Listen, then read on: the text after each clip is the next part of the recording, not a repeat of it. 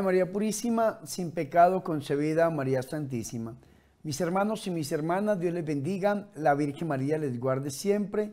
Bienvenidos a mi programa La Buena Nueva con su servidor el Padre Bernardo Moncada para hoy martes, martes 25 de mayo. Mis hermanos y mis hermanas, yo los invito a que escuchemos La Buena Nueva.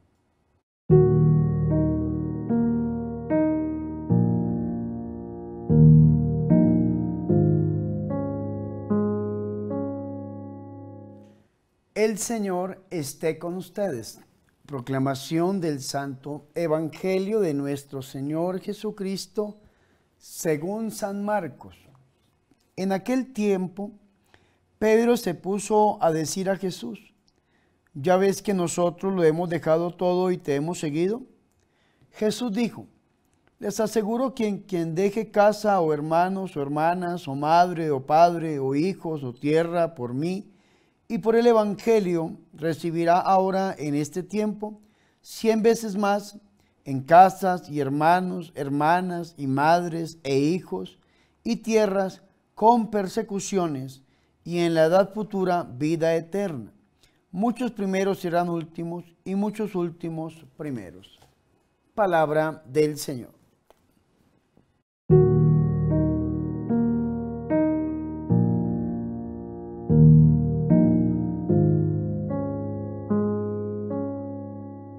Mis hermanos y mis hermanas, qué alegría para nosotros escuchar la palabra de Dios, el Santo Evangelio, la buena nueva. Para hoy martes, martes 25 de mayo, mis hermanos, ya hemos entrado al tiempo ordinario. Nos encontramos en la octava semana del tiempo ordinario y por eso la liturgia se viste de verde. Hoy celebramos también la memoria libre de San Beda, el venerable presbítero.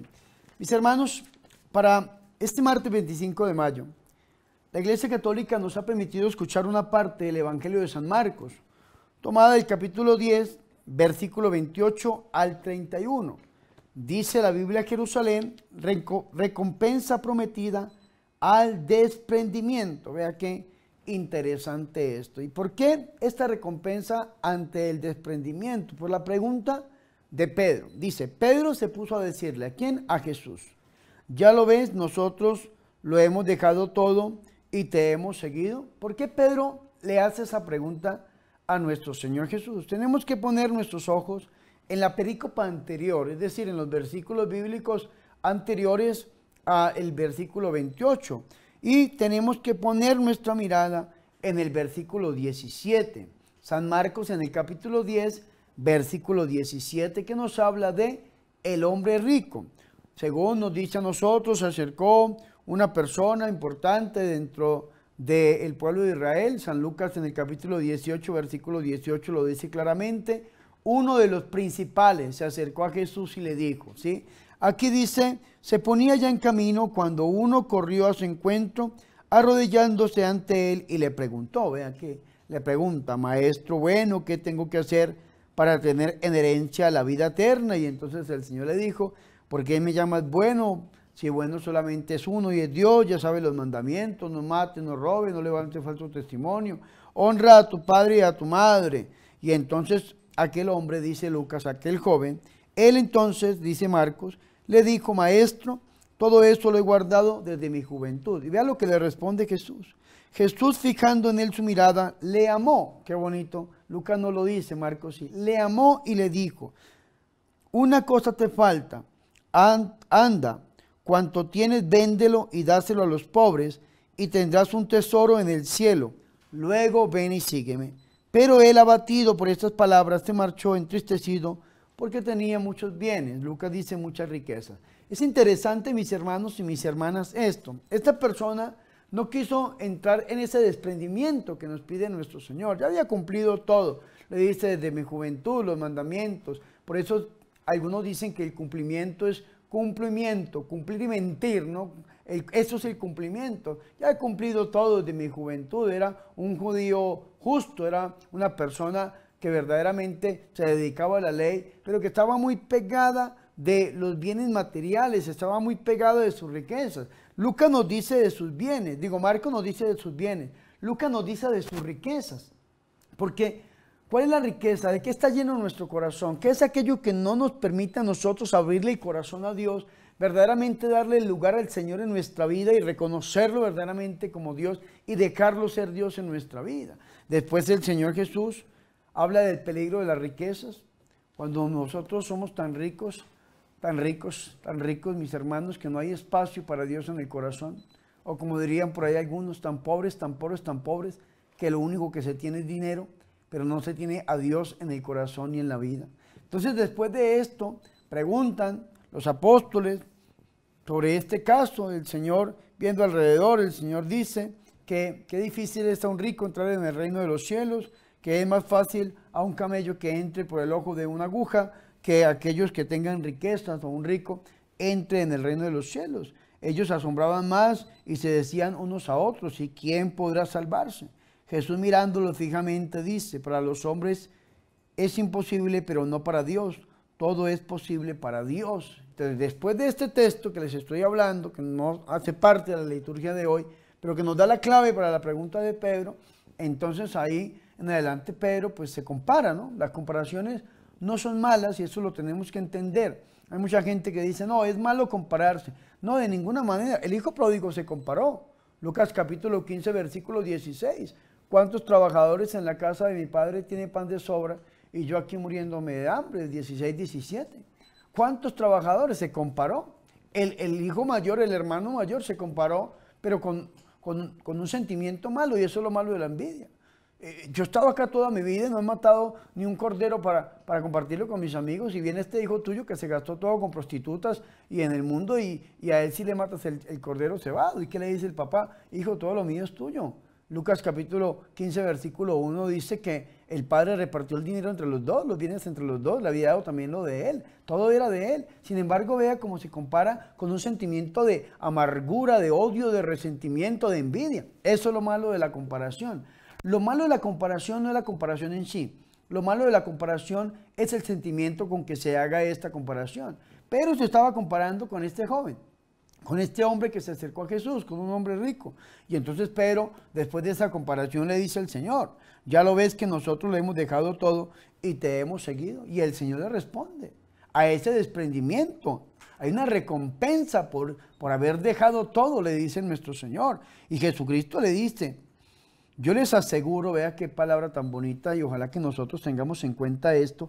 Cada vez que en la Biblia encontramos esta expresión, yo te aseguro, es porque el Señor va a decir algo importante. Lógicamente que todo en la Biblia es importante, sobre todo el Nuevo Testamento y más en sí los santos evangelios. Pero cada vez que el Señor dice esto, va a decir algo profundo, interesante, que nosotros le tenemos que poner mucha atención. Yo les aseguro que nadie, dice el Señor, que haya dejado casa, hermanos, hermanas, madres, padres, hijos o hacienda por mí y por el Evangelio, quedará sin recibir al ciento por uno. Esto es un texto que yo siempre reclamo cada vez que una persona pues me bendice Dios a través de una persona económicamente, que Dios te bendiga y te prospere al ciento por uno. Hay gente que dice, Padre, ¿por qué al ciento por uno? Lo dice la Biblia, el Señor dice, el, el, que se desprende recibirá al ciento por uno. No me lo invento yo, Bernardo Moncada Ballesteros, presbítero. Dice el Señor que nadie se quedará sin recibir, nadie. Entonces cuando usted se desprende, sale de sí mismo, de su egoísmo, del egoísmo del mundo para servirle al Señor. Tal vez cuando nos dedicamos a la misión tenemos que abandonar muchas veces nuestra familia como hijos y salimos a predicar la palabra del Señor. Vemos cumplida esta promesa de nuestro Señor. Nos encontramos personas que nos acogen como madres, padres, hermanos, hijos. Y cuando llegamos a algún lugar, abandonamos nuestra casa, pero nos acogen en otras casas y así sucesivamente. Pero vea qué bonito esto, dice el Señor, al ciento por uno. Cuando yo salgo de mi egoísmo, cuando yo salgo de, eh, de ese egoísmo, renuncio y hago un sacrificio por amor a nuestro Dios, Dios me va a recompensar. Es la lógica del Evangelio de hoy de lo que nos dice nuestro Señor. ¿Y cuándo nos va a recompensar? Diría alguna persona. Entonces hay algunas personas que entran aquí en lo que se llama la teología de la retribución. Entonces yo le doy a Dios para que Dios me dé. Entonces yo doy el diezmo, Dios me bendice, yo hago y esto. Y vean que más que por recibir y, y pensándolo desde una perspectiva capitalista, más que por capitalizar, tengo que aprender a salir de mí mismo para servirle a Dios en el hermano y lógicamente que la recompensa llega, pero sin esperar tanto esa recompensa de que algunas personas dicen, entonces eh, tienes que dar el diezmo para que recibas bendiciones y si no lo das, entonces no vas a recibir. No, de ninguna manera, no, no, no. Tenemos que primero servir y lógicamente que todo lo demás vendrá por añadidura. Busca primero el reino de Dios y su justicia y todo lo demás vendrá por añadidura, es consecuencia de haber renunciado, de habernos negado a nosotros mismos para entregarnos al servicio del Señor. hay gente que dice, Padre, ¿de cuándo? Vea, vea la promesa tan interesante de nuestro Señor. Ahora al presente, ahora al presente, recibirás castas, hermanos, hermanas, madre, hijos o hacienda. Y hay una parte de la promesa que no nos gusta tanto. Ay, que Dios no me dé al ciento por uno. Pero vea lo que termina el Señor diciendo que vamos a recibir al ciento por uno en todo esto con persecuciones. Las persecuciones son propias del Evangelio y de la evangelización. Es una promesa de Dios. Por eso si en este momento usted está siendo perseguido, calumniado, flagelado, pisoteado, triturado, pasando por las fauces hambrientas de los enemigos, en usted se está cumpliendo también la palabra de Dios. Y como dice San Mateo en el capítulo 5, versículo 11, 12, dice que cuando los injurien, persigan, calumnien y digan toda clase de mentira en contra de ustedes por mi causa, alegres, regocíjense y salten de gozo, dice el Señor porque su recompensa será grande. Entonces, si estamos siendo perseguidos, le está hablando una persona que es Betzel en la, en la persecución. Si estamos siendo perseguidos, tenemos que alegrarnos porque esta persecución hace parte del desprendimiento, hace parte de las promesas del reino que nos da nuestro Señor y Salvador Jesucristo, sabiendo que Él siempre está con nosotros. Y no solamente vamos a recibir el ciento por uno en este mundo, en el presente, sino que en el mundo venidero, dice el Señor, la vida eterna. Vea qué bonito esto, mis hermanos y mis hermanas. Cuando nos negamos a nosotros mismos para servirle al Señor, nos estamos asegurando la vida eterna.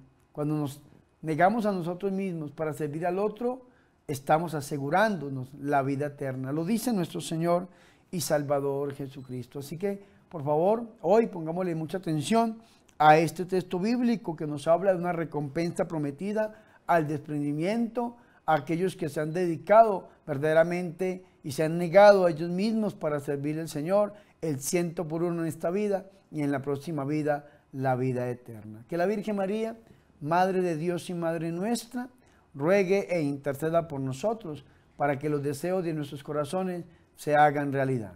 Gloria al Padre, al Hijo y al Espíritu Santo, como era en el principio, ahora y siempre, por los siglos de los siglos. Amén.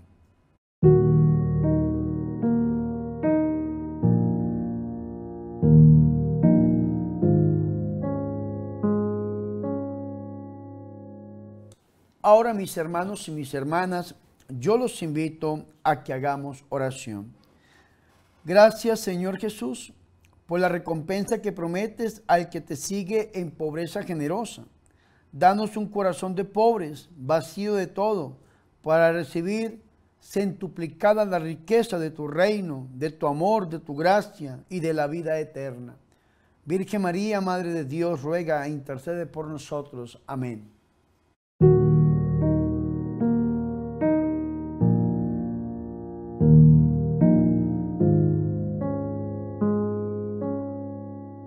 Mis hermanos y mis hermanas, hemos llegado al final de este programa La Buena Nueva con su servidor el Padre Bernardo Moncada para hoy martes, martes 25 de mayo.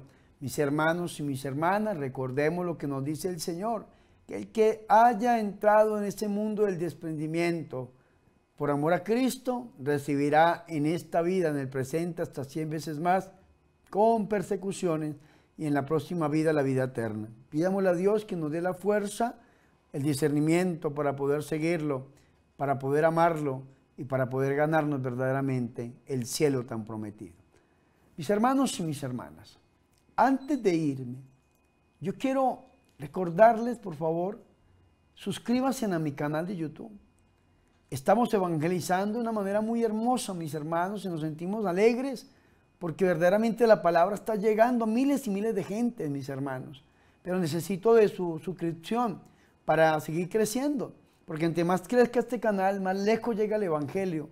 Así que por favor suscríbase. Si donde dice suscribirse, todavía la letrica está en roja, oprímala hasta que la letra quede gris. Dele like, me gusta los videos y compártalo con sus familiares y amigos.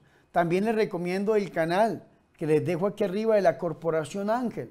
Recuerden que con esta corporación estamos, mis hermanos, sacando una granja autosostenible que a futuro, si Dios nos lo permite, va a servir como un centro de rehabilitación para drogadictos y alcohólicos. Y así que, por favor, sigan este canal y ahí en este canal van a encontrar todas mis oraciones, las oraciones del Padre Bernardo, por sanación, por liberación, las completas, novenas y diferentes tipos de oraciones que Dios nos permite tener en este canal Corporación Ángel.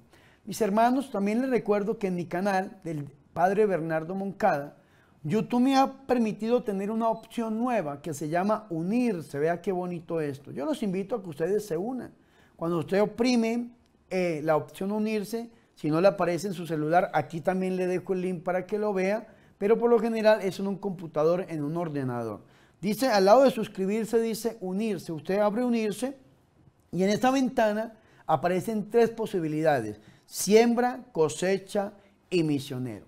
Cuando usted entra en alguna de estas tres posibilidades, hace parte como miembro activo del canal de YouTube, recibe la insignia o el escudo del Padre Bernardo. Eh, YouTube me pide a mí que realice material exclusivo para los suscriptores, entonces vamos a tener material, super chat, pero también yo digo que lo principal es la oración.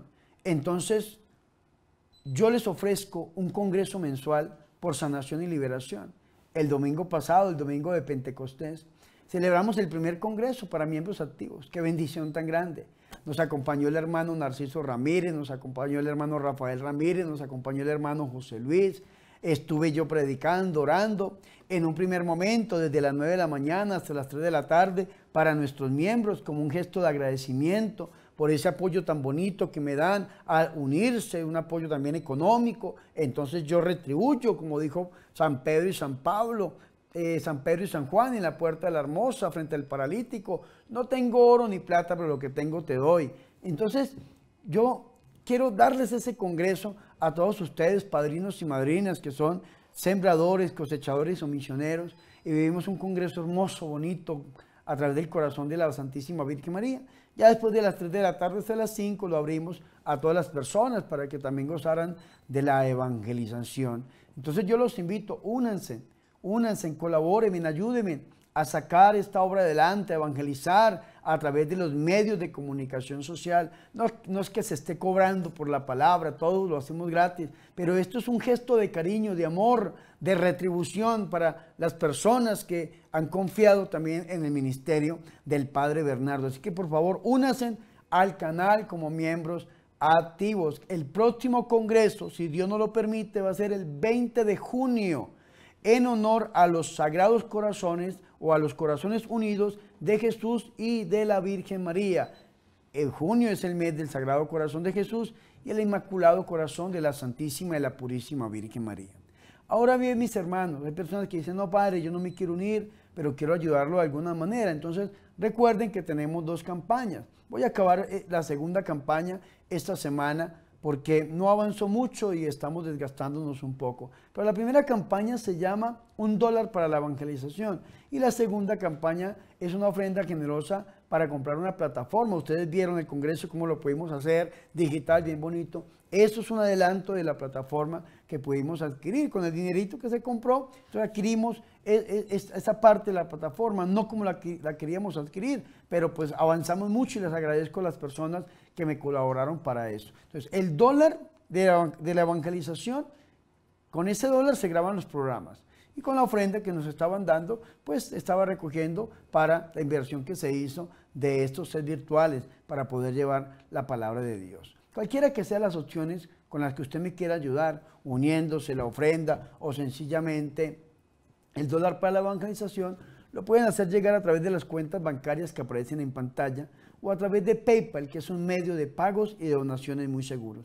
Yo como sacerdote oraré por ustedes para que el Señor los bendiga al ciento por uno. Ahora mis hermanos, preparémonos para recibir la bendición. El Señor esté con ustedes y la bendición de Dios Todopoderoso, Padre, Hijo y Espíritu Santo, descienda sobre ustedes y permanezca para siempre. Amén. Por favor, recen por mí. Recuerden que yo soy el Padre Bernardo Moncada, su amigo, su sacerdote, que yo soy su servidor.